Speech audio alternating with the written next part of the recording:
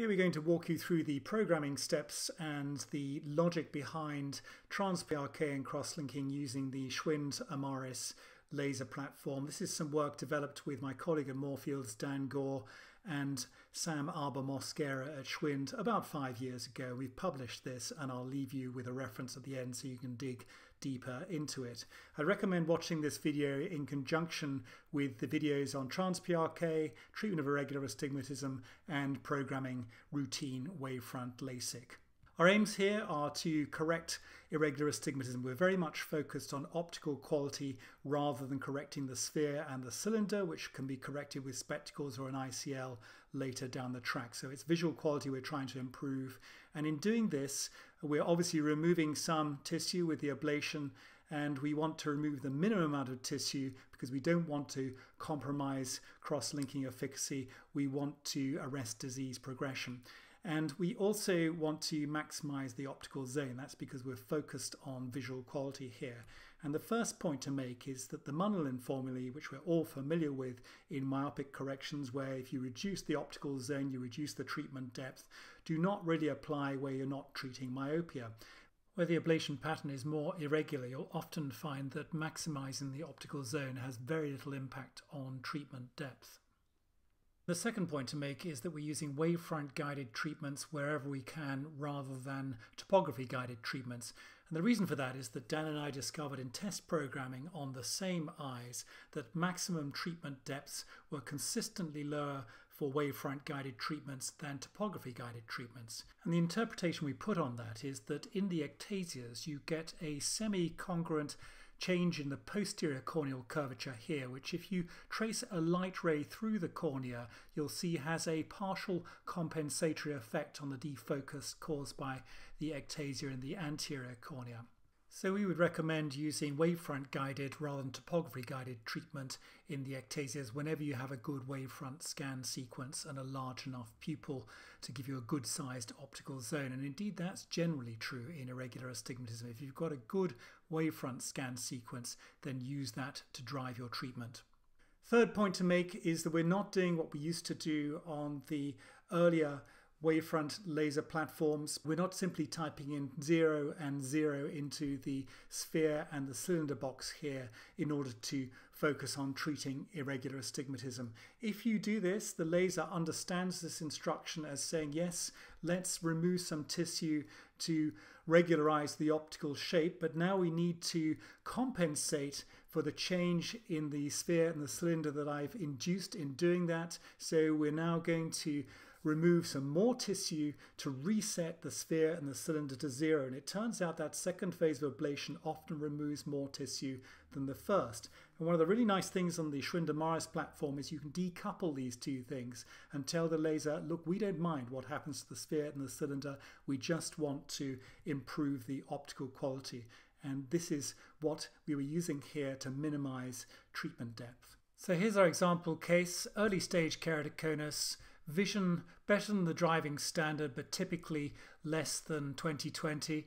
And this is the kind of range you're working in with the lasers in correction of irregular astigmatism. If you're much worse than the driving standard, you're considering a more gross correction, something like intracorneal ring segments to get you onto the starting line for this. And then these patients typically have visual quality problems in glasses. If they don't have any visual quality problems in glasses, you have to ask yourself, do I need the laser treatment in addition to the cross-linking or can I just do cross-linking alone? Mixed astigmatism is the typical picture in keratoconus. You've got your optometrist trying to approximate a correction for a coma shape with a regular toric lens. And of course, that's always an approximation, so the visual acuity tends to be reduced. The first task is to review our wavefront scans in the Phoenix software, and we're going to right click on any of these images to pull out the quality indicators. We're looking for the scan with the largest acquisition diameter as a basis for treatment. In young keratoconus patients, we usually find we have a good pupil size, but where we don't, there's always the option of topography guided treatment. The keratometry we're much less interested in, that only really modulates the energy in the periphery of the ablation zone, the cosine correction. We're going to be setting our pupil offsets to zero for a wavefront guided treatment. You're sampling over the pupil with wavefront guided treatment, so it makes sense to register over the pupil as well rather than treating on the corneal vertex. So we're through to our treatment planning software and we've imported our wavefront and topography scans and the first thing we're going to do is to set the pupil offset to zero so that we're centering the treatment registration and tracking on the pupil because it's a wavefront guided treatment and then we're going to go and hit TransPRK and we're going to tab through then to the planning screen and it's quite nice at this stage to call up the aberration information. You'll see that coma is dominant there, almost two diopters, and that will be typical in keratoconus. We're then going to maximize the optical zone and hit the manager functions.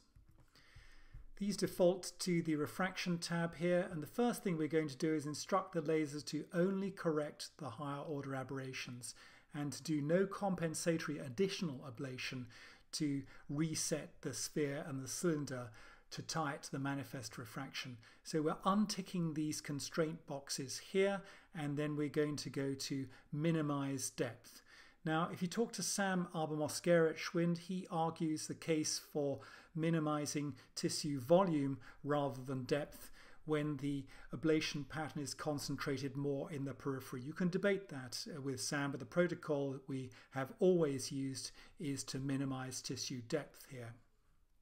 It takes a moment for the computer to run these calculations, but once it does, you'll see right away that we're saving 79 microns out of a total of 131 microns here. So that's quite a substantial tissue saving. So we're going to hit apply here, and you'll see the color change from the last panel there in this preview image and that's because this is a relative scale so don't get confused by that so quite a substantial tissue saving with the first step we're then going to go to the ablation pyramid here and again we're going to hit minimize depth plus. This instructs the laser to only focus on the dominant higher order aberrations. That's those with a value more than three standard deviations from the population mean value. Having done that, we're subtracting the aberrations that are not making so much difference here and saving a bit more tissue here.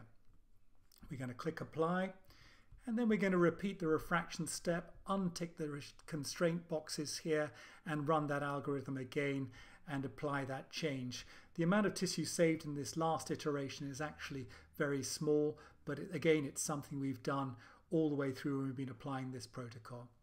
So then you're ready to hit OK and come through to the treatment planning summary screen again here. And it's quite nice at this stage to compare the higher order aberration map with the ablation map and you'll see you'll get reasonable congruence there with treatment concentrated over the tip of the cone here flattening the inferior cornea but also a compensatory steepening arc of the superior cornea and this is the ablation pattern you'll see again and again in keratoconus with what I call Jupiter's red spot down here and a compensatory arc over at the top here.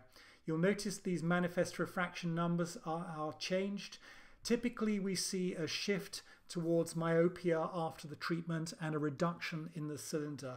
And it's important to tell the patients when they're going into this treatment that it's visual quality you're trying to improve at this stage, that you may need actually more help from spectacles afterwards because of the myopic shift than you did before. However, that's something that can be dealt with with spectacles or contact lenses or an ICL later down the track. Also note that the ablation depths now are very small. We're down to about 10 microns in the center of the cornea here if you subtract the 55 microns epithelial thickness and less than 30 microns in the periphery if you subtract 65 microns from this. Then we're through to the summary screen and again you can see the tissue depths down here are minimal and that the main focus of the ablation is going to be on coma and this is a trans PRK pattern. We experimented with programming with just PRK and then switching through to trans PRK at the last step. It's a bit easier to see the treatment depths and the changes you're making in the color maps where the amount of stromal removal is less than the epithelial removal in trans PRK, but we've abandoned that and we simply program in trans PRK mode now. Then you're going to hit export and that's the treatment ready to go. Here is the reference to our clinical series that we published in JCRS a couple of years back. You can screenshot this if you want to follow that up and dig deeper into this. The headlines are that combining trans-PRK using this approach with cross-linking does improve vision over cross-linking alone and does not appear to affect corneal stability after treatment. So it's very nice as an alternative for patients who have visual quality issues in spectacles in early stage keratoconus. Here's four sequential cases taken at random from that series showing the typical pattern that we see in topography after treatment with a flattening over the apex of the cone here and a steepening of the superior cornea and a more symmetrical resultant shape better centered on the corneal vertex. So not absolute perfection post-operatively but certainly an improvement in the optical shape. Okay, so that wraps it up, and I hope very much that this video was of some use as a supplement to the JCRS paper and will help users of the Schwind-Amaris platform with keratoconus practice to get going with this very useful combined treatment modality.